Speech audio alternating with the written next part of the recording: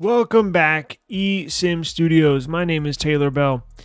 Got a special edition episode here for you. So, yesterday we got the Pixel 9 Pro XL in black model.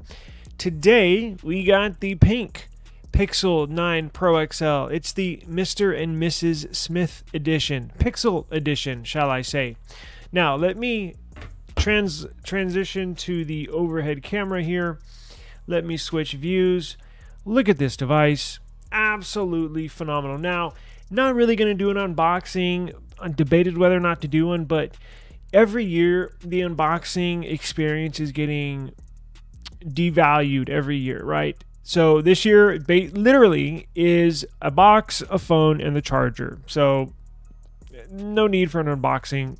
This is what you want to see anyway. So why waste time with an unboxing? Um, fantastic color, absolutely fantastic color.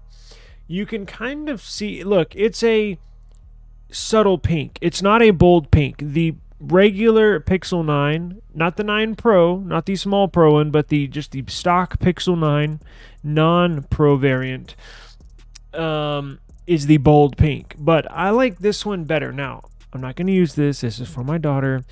She's she wants me to hurry up and finish this little initial review because she's dying to get on it. I had to rip it out of her hands. I'm kind of exaggerating, but she did not want to let it go for a good reason. This is this is for women, this is the perfect device. If you're a Pixel lover, and let's say you have a Pixel 8, right? 8 Pro, and you're like, damn, should I upgrade? And the answer is yes. The build quality, I'm going to say it over and over and over again. The build quality is on another level. This is iPhone level build quality. Look at this. Please excuse my fingerprints here. Um, uh, as you can tell, we've been toying with it a little bit. We literally just got it in. Uh, let me wipe it down, but it is an absolute beautiful device. Look at this thing.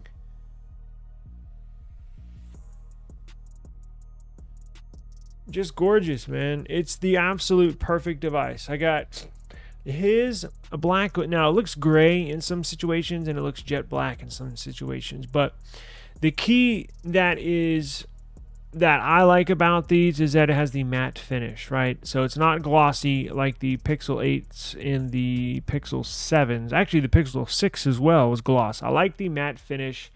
Won't show fingerprints. Unfortunately, I think next year they're going to do the matte side as well. The sides of these are glossy, as you can tell. Now, the sides this one has a pink tone, so it's not chrome, it's not a silver, it's a shiny pink. Has a pink tone, matches the back of this device. Now, the camera bar here is that same shade of pink, and so is the border around it, the same shade of pink.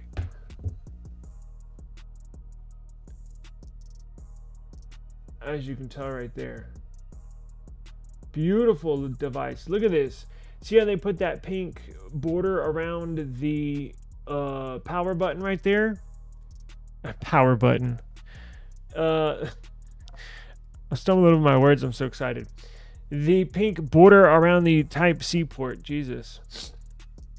You have the antenna uh, antennas right there for the 4G, and you got the big 5G antenna up top. Here's another 4, 4G antenna.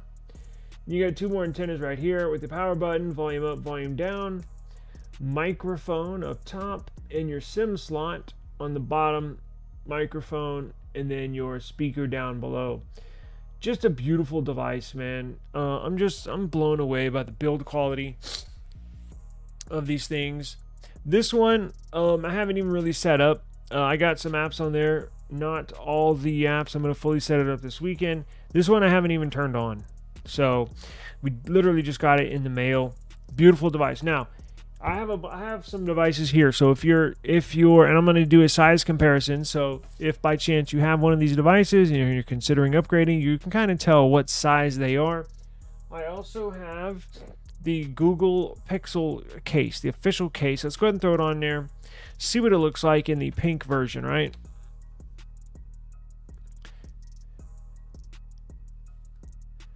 Wow, that's pretty.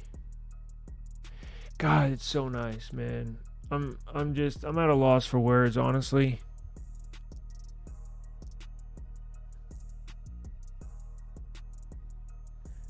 Just the absolute perfect phone now. Absolute perfect phone. Let's do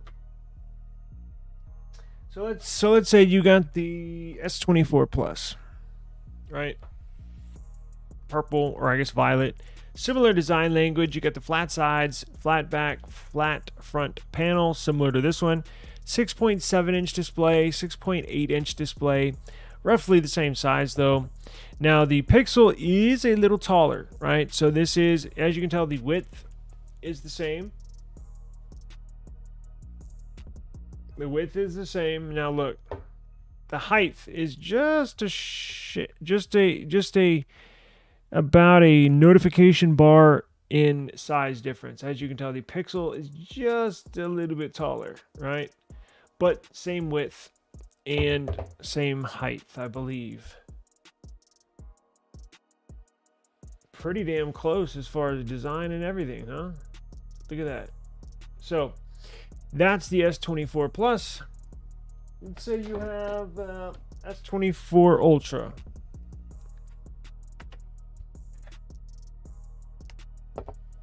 Pretty close in size. S24 Ultra is a hair wider. And it looks like it's a hair thicker. And they are exactly the same height. So Pixel 9 Pro XL, definitely a big device. But um, it fits in your hand perfectly. Um, absolutely perfect. Now, here is the Flip Z Flip 6. Just like that.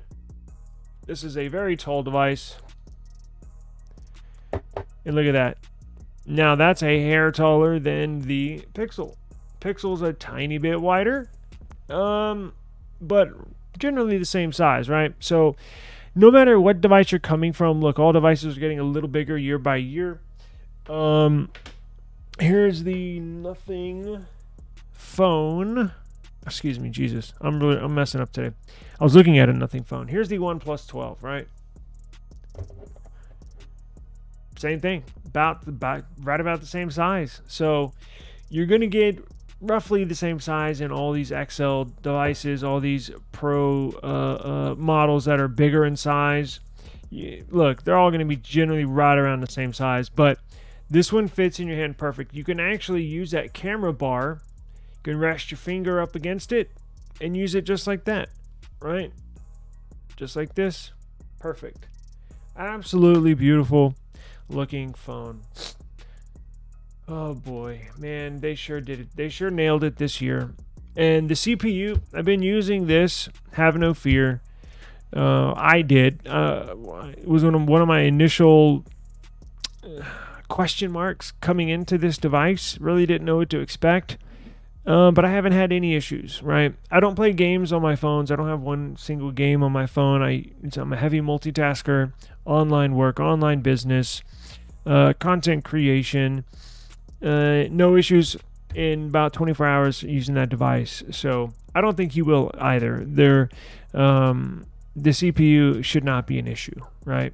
This year. So, uh, but again, I don't play games. So if you're a gamer, you might want to uh, look into that a little more. But uh, with everything else, it's been fantastic. It's able to do everything and it's buttery smooth. So don't let people tell you that the CPU is trash because so far it's handled everything. Now we're going to get more extensively, uh, more extensive testing as time goes on, especially through the weekend. Camera photos, camera samples. We're going to test these sensors against those sensors that I just compared them to the OnePlus 12, S24 Plus, S24 Ultra, um, and uh, the Nothing phones. Which, look, I'm obviously the Pixel beat the Nothing phones, but I'll do a comparison and uh, you can see how they match up. So this was a quick video, a quick introduction to the Pixel 9 Pro XL pink model, right? Got a him and hers.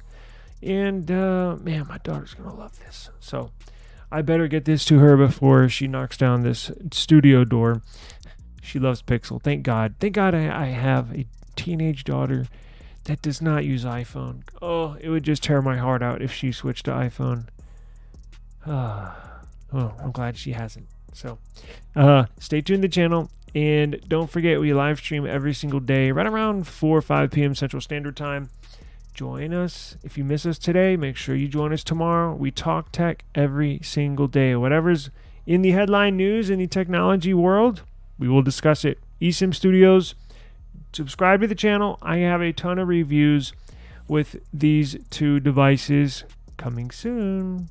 I got to get outside and start taking some pictures. Peace.